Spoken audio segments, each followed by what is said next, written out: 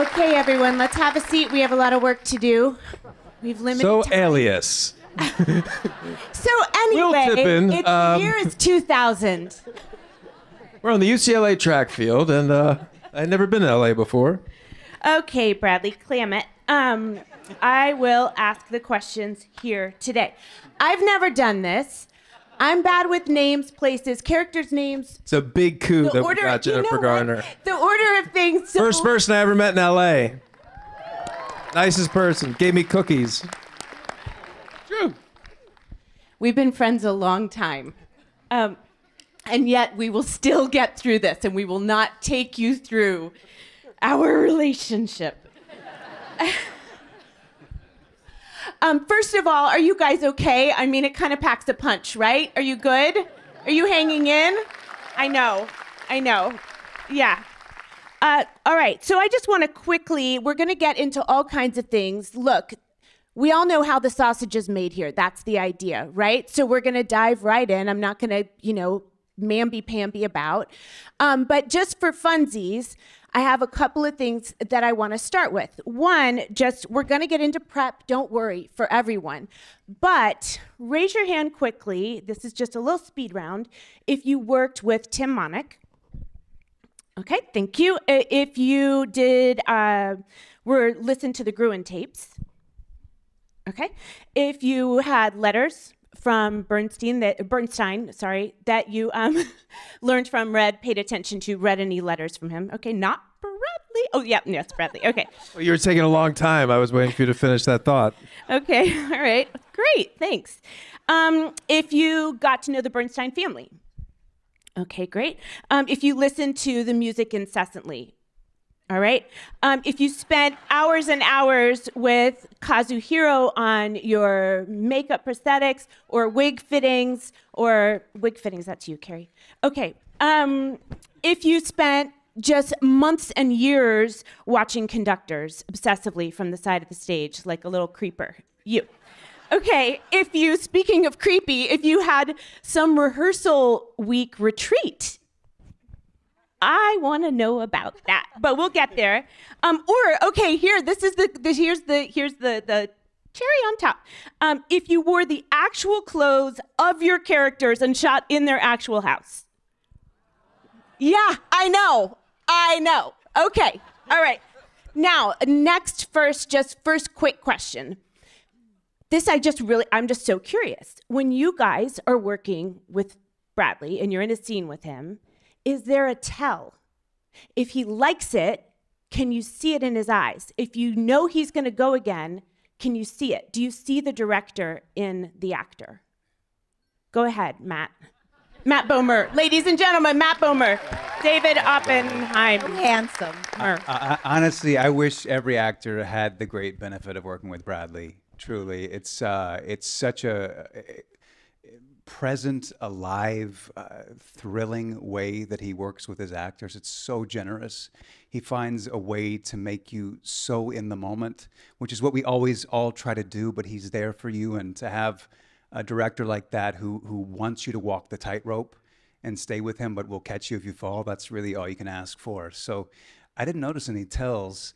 Um, but it was a thrilling experience. You can probably speak to it much more experientially than me, but Well, hold your hold your thought. Sarah, could you see the director in the actor? Yes. But I mean, not in the moment. Like I didn't go like, "Oh, this is he'll use this take" or something like. We, but the last thing you said, do you see the director and the actor? I mean, oh my God, he's he's just his whole every cell in his body is thinking about the movie, this scene, this frame, the every detail of it all the time, and he's he was so excited every moment of every day. Well, he was he was Lenny, but when he wasn't shooting, he was just really excited Bradley. And it was really cool. Carey, could you see Bradley thinking about your performance as an actress while you were in scenes with him? No, I don't think That's I could. crazy. I don't think I could. I think I just from the minute because he was he was Lenny. I mean, he got to work at like two, or you know. So, but but four or five hours before anyone else got there to do the makeup that would get him to be Lenny. So by the time we got to set, he was like by the camera, smoking, and he was Lenny. And so I never like there were two days where he was Bradley. So I never really. So it would be weird. So I'd see him on days where I'd see him like on the weekend, we'd go over for a play date with the kids, and I'd be like, "Oh, you." Like I did. I just didn't, you know. So it was, it was, and, and in terms of the like Sarah says, like it was cellular. It was like from the head to the toe, everything was. So that there was no, I didn't see lines in between. Bradley, it. it's so cool. That's so insanely cool that you can do that and have your brain going on all these different levels at the same time. Are you were you aware? What was your just your just plain old director plus actor process? Let's just start there. Go for it. Ready, go. Okay, so Alias.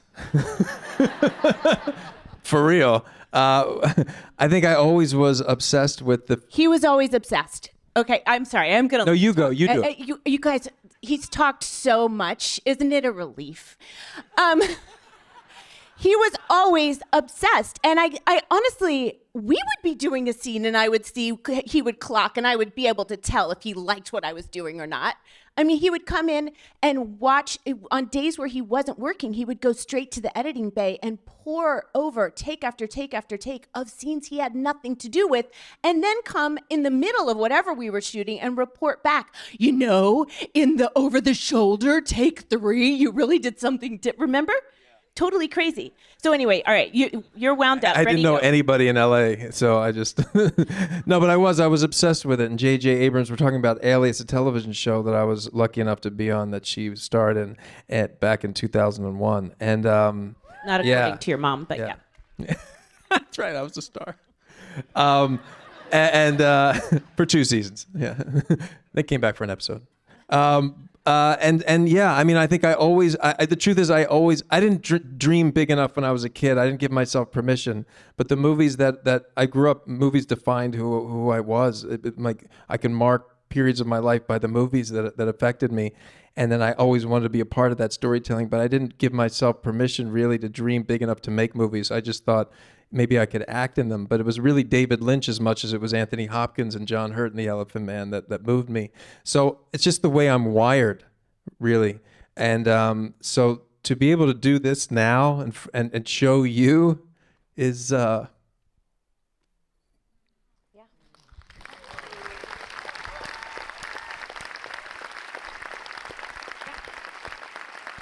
Yep, you're not kidding. It is how you are wired. Um, l- let me just go back a little bit, Matt. So, can you tell me how the letters between Lenny and David Oppenheim, uh-huh, uh, how those informed your performance, what they what they brought out in you? Yeah, there's so on the Library of Congress webpage, there's a lifetime worth of personal letters between the two of them. Lenny's in this beautiful composed handwriting, and David's in this chicken scratch. Uh, but it was such a beautiful insight into the shorthand they had together and the, the shared ambitions and dreams and loves. And it, it really goes through their entire life. Um, uh, and so David was also somebody who spent his entire life cultivating great artists. He was the architect of NYU Tisch School. Um, he, uh, yes, Tisch folks, yes. Thank you. Yes, thank you. Um, and uh, so you can imagine when he met a supernova, once in a generation artist like Lenny, the kind of love and affection he'd have for somebody like that. Lenny also wrote a beautiful sonata for him that I listened to quite a bit that was really mournful and kind of full of yearning and longing as well. So Well, you had one of those incredibly tricky and vital roles where you're only seen a handful of times, but you are right next to Felicia the entire movie. We have to see you as the counterpoint. We have to see you. And there's a moment, Bradley, where you are running up at Tanglewood, I think, and you want to introduce your new girlfriend, your your the love to the real love of your life. And it's just this moment that really in, encapsulates so much of the relationships in this movie. It's like devotion, calm, family against animal longing, passion because the look you have on your face when you see Matt, David, ah, mm, um, is it's like a look that we're chasing the rest of the movie. And that connection between the two of you is so important, and you killed it because every step of the way, even when, when Lenny was with other men, you knew where he belonged. You knew where his heart was. And that was that's just incredible. So congratulations. And and I have to say that um, you know, we had to convey all that in a very short bit of real estate in the movie. And and again, what a, what a gift to have these actors. And you know, from, from the first time when he does introduce them, and and I said early on, you know, we're just going to stay. You know, we're just going to stay. I, we, we didn't even shoot Lenny. I just wanted to hear Lenny say that was that insensitive of me. I guess you know, and we're just on David, and because I could only do that as a as a filmmaker because of the actors, and just staying on him and his face in that moment when she he introduces them and they walk away, and that you know, what a gift for a filmmaker. Well, while I'm talking about the two of you, do you guys mind if I jump around? Thanks. Um, can we just can we just go ahead to the walk and not talk? Because wasn't that an entire scene? And Yeah. what was that scene? What was what was written there? What was it about? What made you make that? What made you make the decision? The that that goodbye, the the heartbreak of that. I cried. Okay, now Okay. So, so there again is a testament to this actor.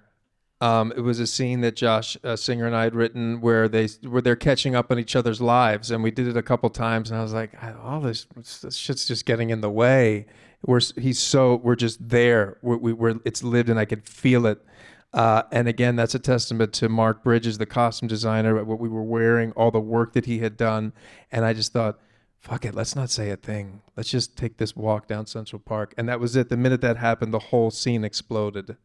And then they just stop. And then and that was, you know, that, that was it. That's what I was speaking to about working with Bradley, though. That's so exciting. You know, the the scene that you were first speaking about when I meet Felicia, uh, that was the last take we did, and he basically improvised all of that off camera for the first time, and that's what's in the movie. And So you thought. we had this big walk and talk. Yeah, exactly. But uh, then we had this big walk and talk, and uh, he just, you know, decided to take that risk and do it without any words. And he, you can just trust him and, and, and, and, you know, jump off the cliff with him, and he's there to catch you, which is amazing. so crazy bold. Truly one of the most beautiful moments. Um, Can I just say one tiny thing about that walk and talk thing? Um, sorry, I just like shooting in outside uh, in any city can be, but in New York when you're playing Leonard Bernstein, like there were probably I wasn't there, but I when we shot in Central Park, there's like 50 million people just off camera watching, going, "Oh my god, it's Matt, Matt Bomer and Bradley Cooper," and and like 25 paparazzi. I mean, like to be able to distill everything and just be in the moment and believe. And I just think it's, It's funny you're saying that, but my memory of it, quite honestly, is that I don't even remember the cameras. I just remember us walking. I really do. That was it. Me it. too. Yeah, thank you. Okay, do that. Um, okay, Carey and Sarah. One thing that I just loved that I think is so rare to see in a movie is the relationship between these two women and see it evolve and grow. I don't know you obviously your characters knew each other when the movie, you know, before we get into the story.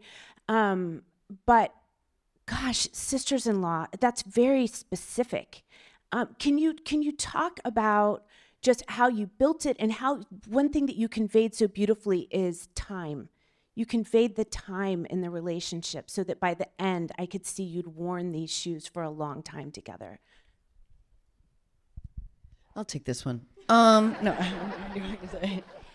I mean, I, I just, in terms of the characters, I feel like when Shirley first brings Felicia to meet her brother at the party, um, it's kind of like um, I'm showing Felicia, like, look what I have, you know, or and look what I brought, you know. Uh, there's something, you know, Shirley needed to kind of be in the center of it, I think, inside because it it that's all she has. It's like she she her whole life molded around her brother, and that's that's how it is with him. You know, he's a force. And then as time passed on, uh, you know, so it, in that way, I think there's it was a little frenemy ish.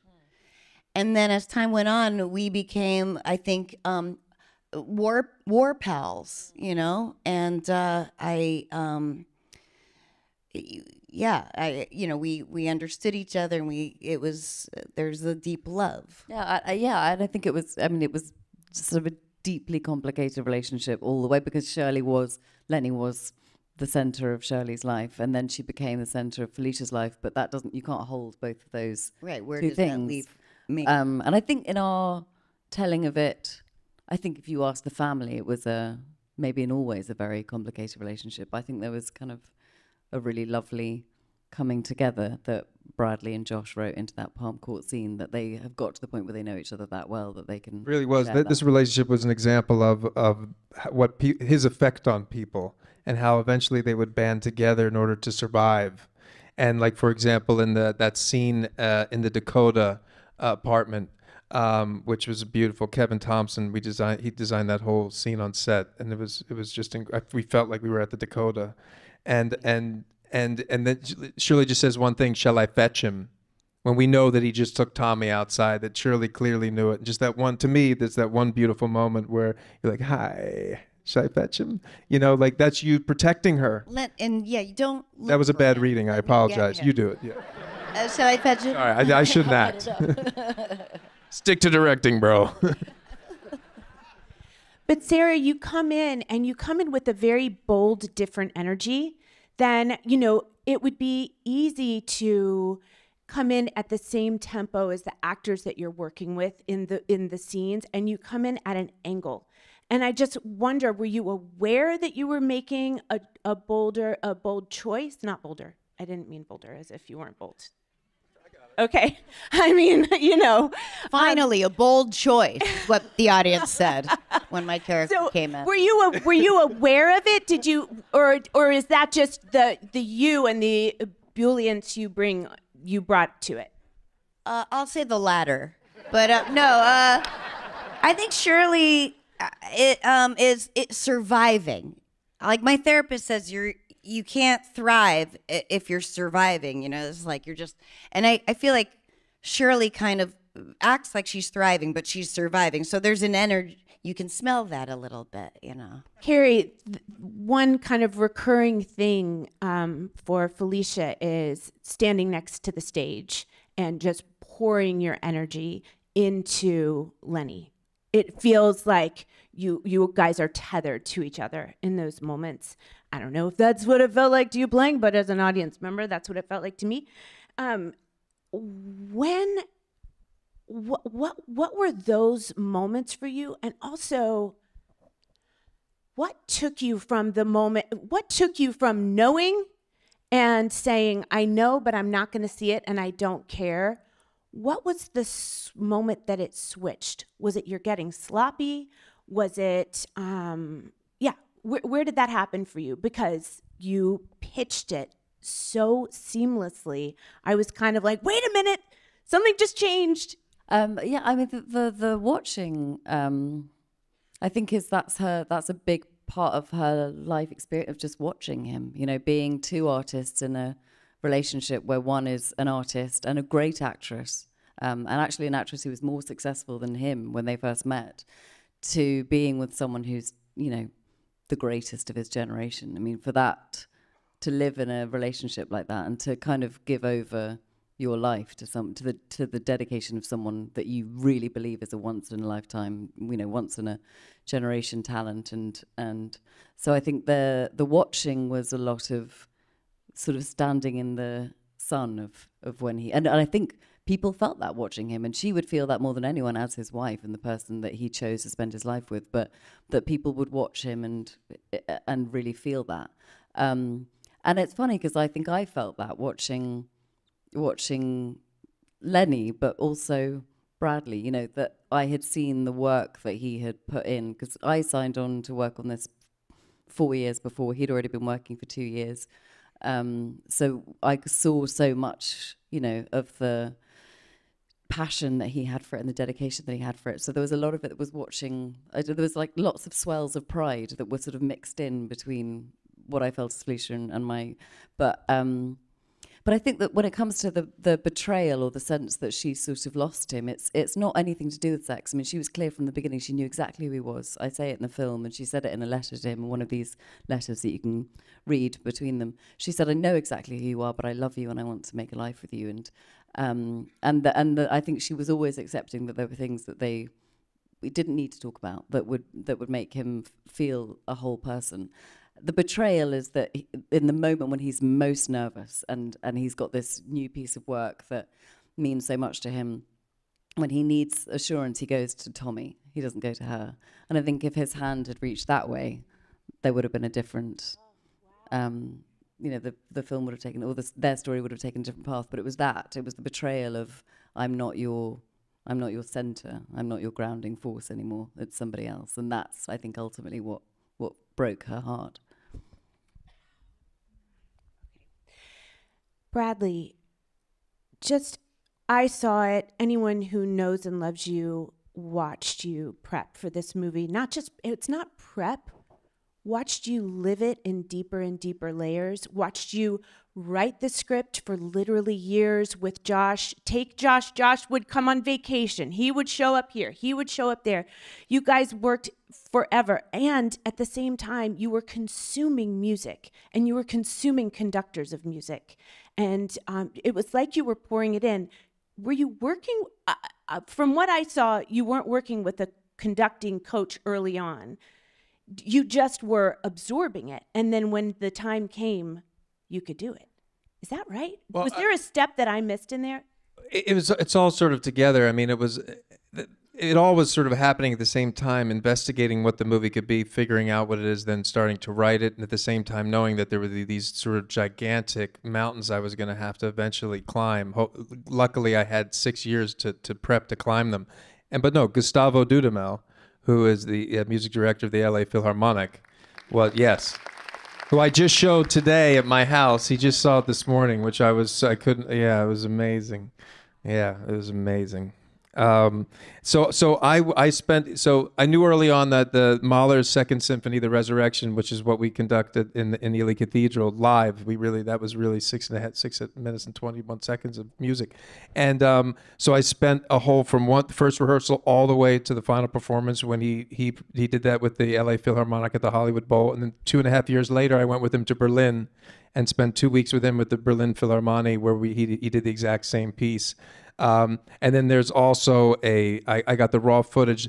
Lenny did that in that cathedral with the London Symphony Orchestra in the 70s, and I have him conducting that.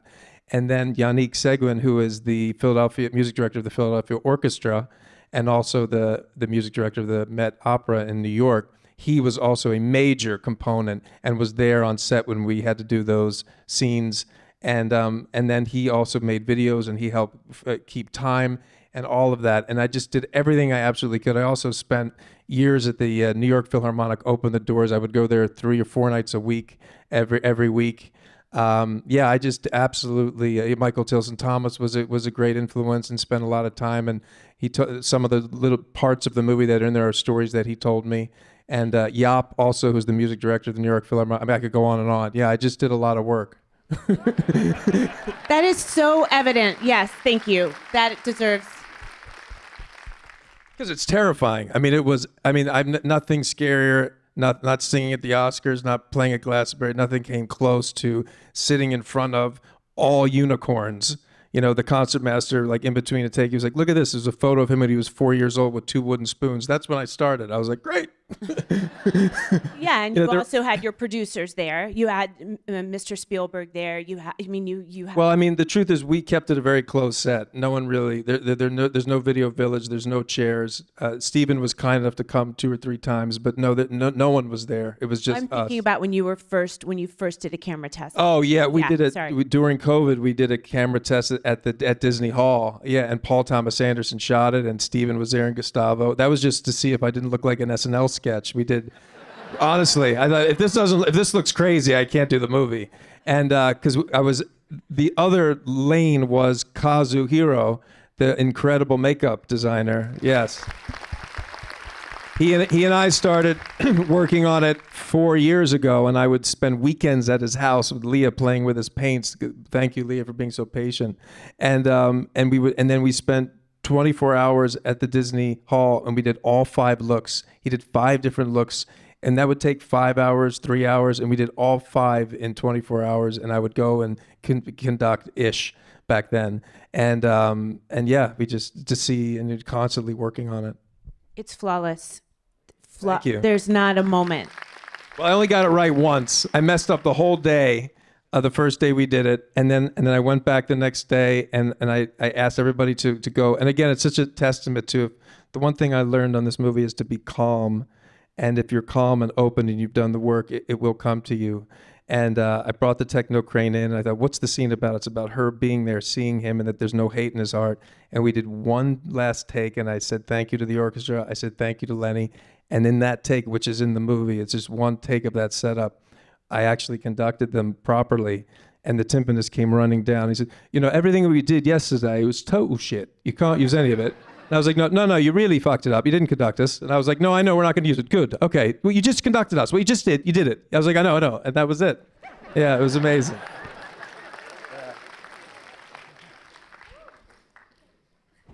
Okay, so you had, uh, yeah, sorry, I, this is so not my job. you had Kazu. I'm just kind of blown away. I mean, I just can't even, I can't even believe it. I can't believe what you did. I'm so proud of you.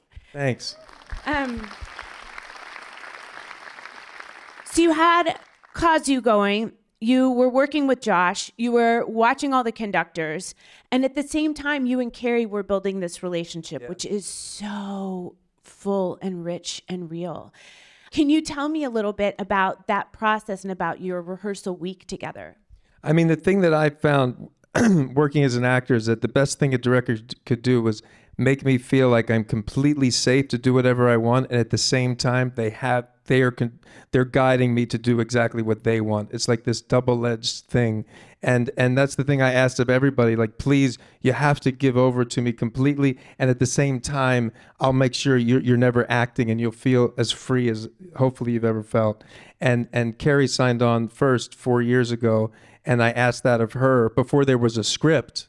You know, when I just said it's going to be a movie about marriage, will you come do it, please? And then and then I said, can you come to Philadelphia? And we narrated Candide for free and for six days, and she came and we did it. We just started building and building this relationship, and then we worked tirelessly with Tim. I mean, Tim Monich moved into my house. We worked five days a week for four and a half, really five and a half. I was still, it, Stars Born hadn't come out yet, and I was working with Tim Monich. And then she came on, and we would do. I would FaceTime her at all hours of the day as Lenny. I'm like, she's, she's probably like, can we not do this right now? Bradley, just you FaceTimed everybody as I did. That wasn't not Well, that you're not special, Carey. Everyone heard from Lenny. We all heard from Lenny. It's true. Yeah. I was excited. I was like, I'm We're getting the voice. excited. Yeah. And the voice was watching the voice evolve and change. I mean, the only time I hear you is when you laugh. Yeah. Ever. You don't sound it's crazy. Okay, go ahead, go ahead, go ahead. So then we did this. Uh, uh, I, I really love this dream work that I learned from Elizabeth Kemp in grad school that was taught to her by Sandra Seacat, uh, who's an incredible teacher who just recently passed away.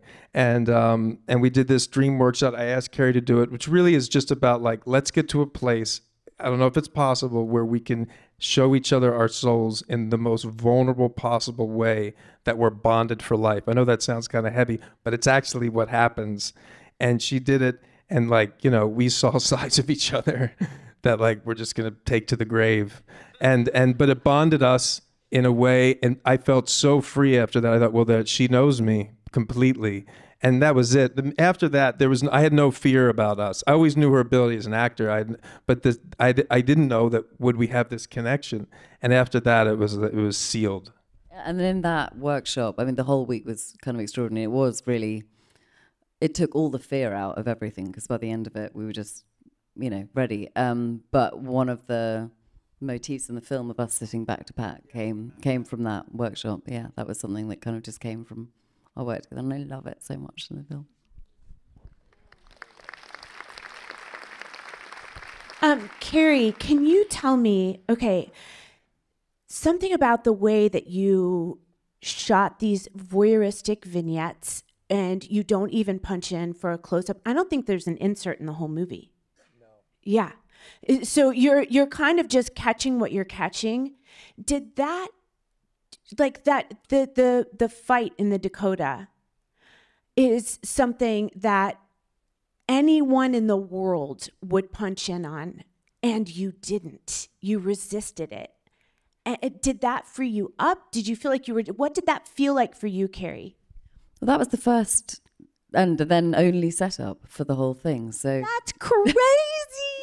that was the first. So well, that was the first. So that that was the third take of the first setup. So it was a wide, and and I I mean that's heaven for me. I just want to pretend there's no camera at all. So putting it way on the other side of the room is sort of dream scenario. Um, but yeah, so that was that was that. We did two takes that didn't feel right. Then, as is the his way, there was an adjustment made. Bradley, Lenny.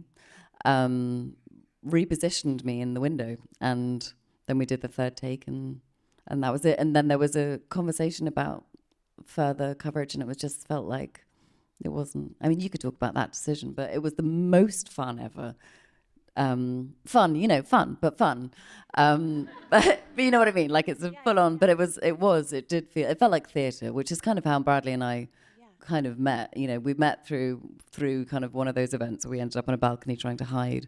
Um, and then we saw each other in plays and bradley always came to see me you know so it felt like theater and that was the i loved it. And i was so delighted that we didn't ever do it again. Yeah, that was always the way it was conceived and written. Um, but that that again, all this time of prep and being able to write a script over its, its course of many years, you know, it, I was able to sort of explore the public element of their life cinematically rather than talking about it so much. So I always wanted this voyeuristic quality where you're you're you almost feel like you you're watching something that you shouldn't be watching. And at the same time, I didn't want the audience to feel safe. I mean, when I would watch my parents fight as a kid, I never was in between the two of them looking at either one in a close up. I was with my sister, you know, 15, 20 feet away. It's just sort of, you know, and that's where that came out of originally was wanting that feeling. But again, she says, you know, very difficult to pour, put, I don't know, it was a five page scene, five and a half page scene. Luckily, I wrote it like five years ago. That was one of the scenes that never changed. It like sort of came to me, and then that was it. And then, and so we had that. That was really in your DNA at that point. That said, you know, it's just because it's Carey Mulligan, her ability to run that scene, that I could stay in that wide, kind of for the punchline. It wouldn't work if I if I went to close-ups, came back for the Snoopy reveal. I mean, it had to. There was also that. I mean, the joke only works if you stay in the wide, but um, not the main reason. Maybe it was to do it. but really it was and that was I, I mean that is and also the whole movie is sort of leading to that scene and so if we didn't get that scene the movie's not going to work And it's kind of a love scene, right? Because she's loving you more in that moment, telling you, fucking go and, and be you. Do it. Love yourself. well it's complicated you know you know i think that scene is about her her still on that journey Let me tell you what it's about. Okay, No, tell me. No, no. no That- tell that me was a joke. sydney i mean joke. jen what you're going on a trip what let me make you popcorn No, tell me, tell me how you saw it. Tell me the scene. No, I'm just saying that she, to me, what's heartbreaking is you're watching her go through all of this, and her whole argument to him is that he's not fulfilling his potential. She doesn't say anything about what the fuck he's doing, right? That's her argument. Uh, and it's not till she has that reckoning with herself and the audience. That's why it's a close up at the Palm Court with her sister, where she actually bares her soul and and and bears witness to what has been happening to her and says, you know, I envied my children. And that that again, Carey Mulligan, the way she played that, the way she tells that story. It's just like I mean, man, you know, it's just it's insane. It's insane. Speaking of Carey Mulligan, can we talk about the moment? Gosh, Carey, once Felicia gets sick, it's just hard to watch. I have so fallen in love with you by then. I mean, right from the get go, of course. But, dude, when you are chatting about dinner and you guys are connecting and Lenny's nervous, but you're super, you know, you're kind of holding it together and just chatting about what Julio's going to make for dinner. And then it's your actual doc. Isn't that Dr. That was Bernard Kruger, That's who I- Bernard was my Kruger. doctor for years. Yeah. I always loved his voice. Yeah. And there's nothing worse than like a scene where you're like, that guy's not a doctor. So by and the way, um, I- you know what I mean? and you're like talking to the actor, like, no, it's this part of the pulmonary thing, and I don't know what the fuck I'm talking about, but I'm trying to tell this guy who doesn't know. And so it was perfect. He's a doctor. So He's you know, and, he, and He he's like delivered, and again, he's delivered that news for many, many, you know, hundreds of times. So it was just perfect, and I just loved his voice. That's why I didn't want to see him. I just wanted to hear him, and it's about them taking it in Yeah, like you see on his children. back and I just always love that their, their their legs off the floor dangling like kids. Ugh. So you're talking about this. It's all one take, is it not? Yes. Yeah. Jeez Louise. So it's all one take and you're chatting and you hear the news and you're keeping it together because you're a poised, elegant woman. And then all of a sudden you can't keep it together anymore. Where? What? How just were you just so living her by then that how many takes of that did you do? Of that of that one, we did um, we did three takes only because it was very difficult for Bernard to get in that little sliding chair to her. I don't know if you noticed, but he gets there real quick. It's like I was like, bro, bro, just get to her, just get in, say hello, and get to her. You know, he was sort of like, I was like, it's not gonna work. I can't stay in the scene. So we finally got it. Thank God. So that's why that took three takes, not because of her. and I tried it from the other side. Uh, and I, I, again, everything that I tried out of fear, I, th- what I always saw was that it was. I always wanted to be that. And but I tried it this other way, and it just, and then I was like, no, no, no, no, this is the way it is. And and then I think it was like the third take, and that was it. I don't know. It just felt really real. Um, it's hard to describe. I think when you get that far into a shoot, I mean, that was fairly fair. You know, it was far enough along. It felt like you know the middle of a really good theatre run where you felt like you were you kind of didn't have to think too much. And I don't think we were. I think by then it felt. Uh, You know, also we're thinking about real people. You know, we're thinking not just about the real people that we're playing, which I think we both felt deeply connected to. I mean, you know, you know, Bradley became Marcus. Um, Bradley became very, very close to the children, and by that point, like I was using her lighter every day. It was engraved with her name. You know, you're thinking, you're not, you're not sitting there thinking this in an intellectual way, but you are aware that this conversation happened. This happened. This happened to them.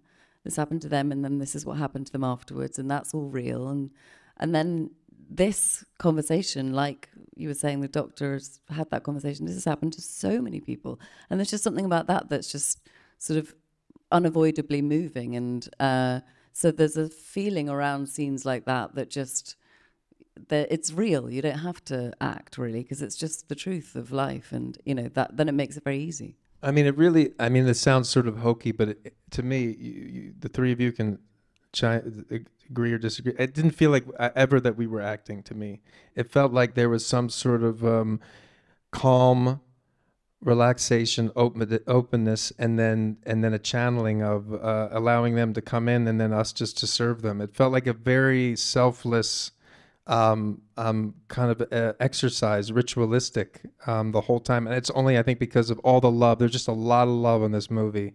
I mean, every crew member. I mean, I would get a text from the A camera operator at night saying, "Do you think?"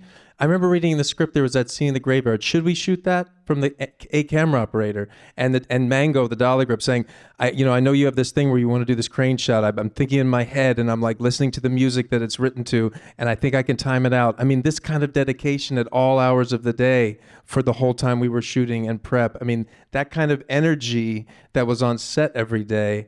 I, I've really never experienced it. And it felt like because we were serving these people that we all grew to love.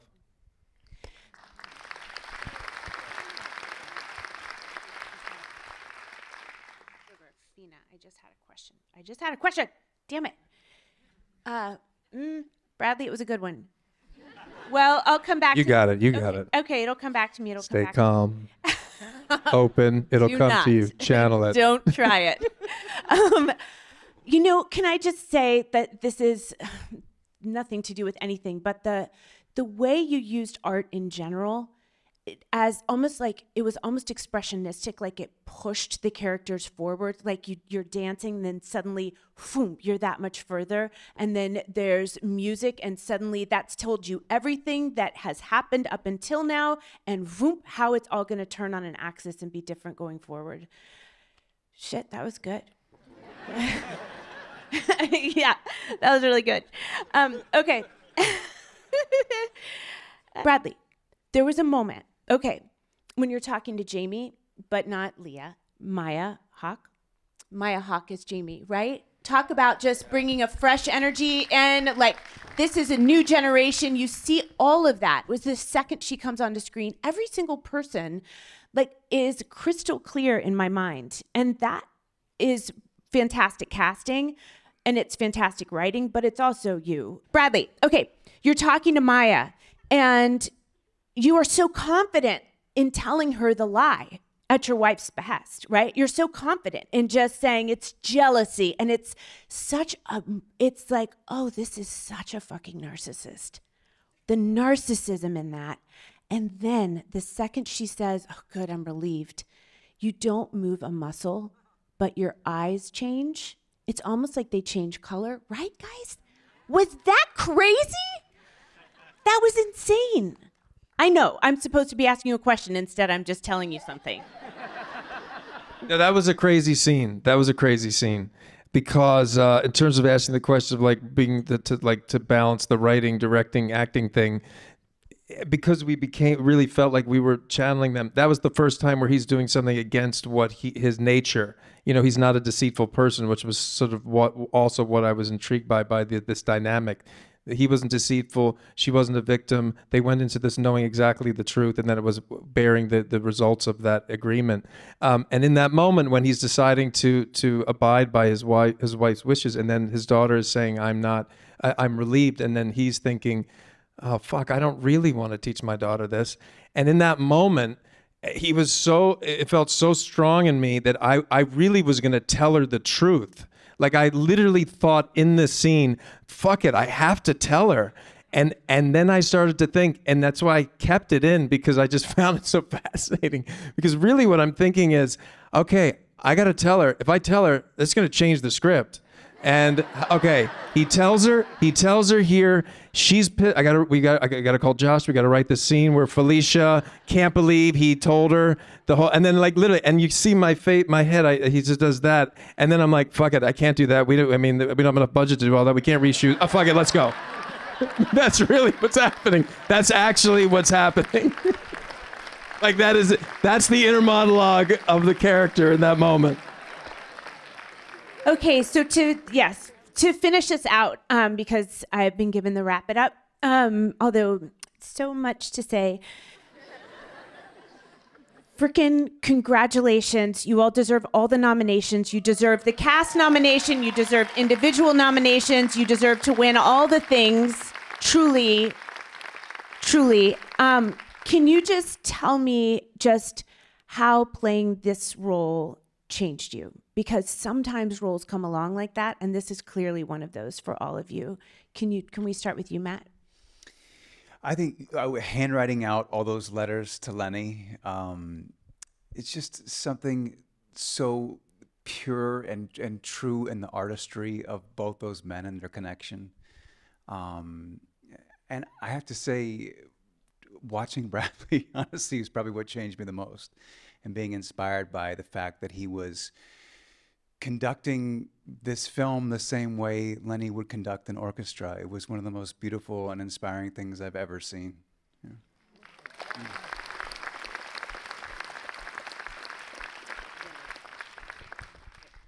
Oh, I, that's that's great. That's I think that's exactly right. I mean, this guy is so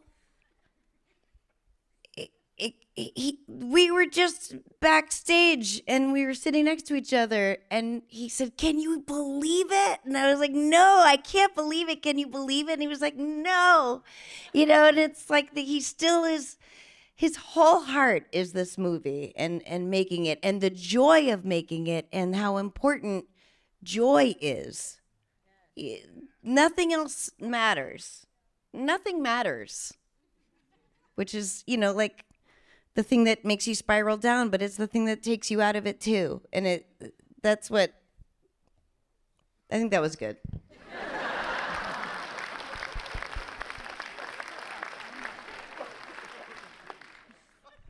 so hard going after Sarah.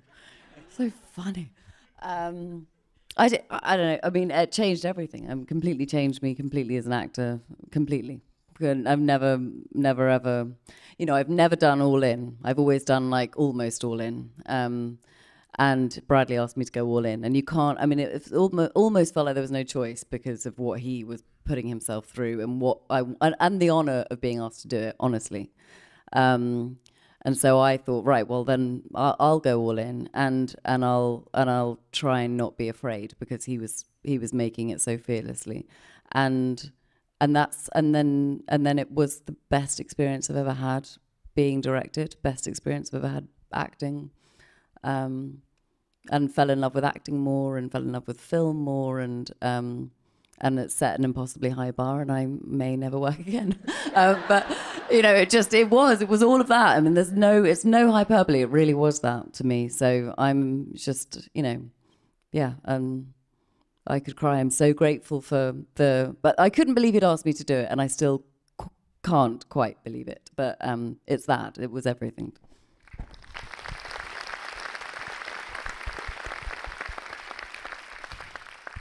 Um. So I mean, what was the question?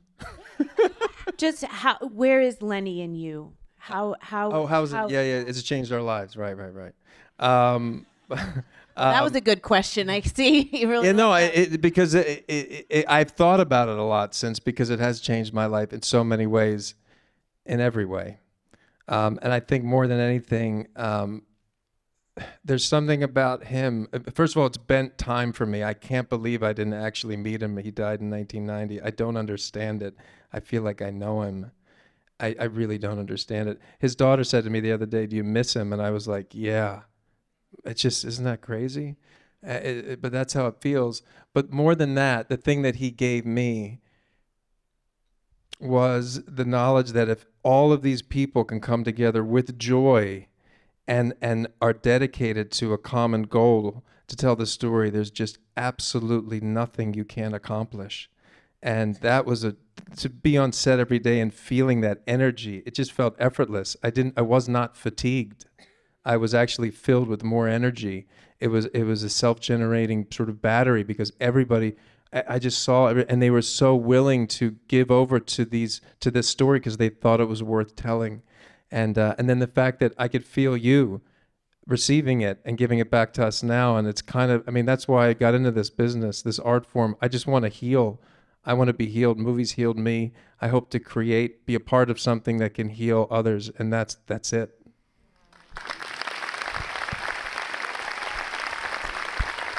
Let's hear it for these guys. It's incredible cast. thank you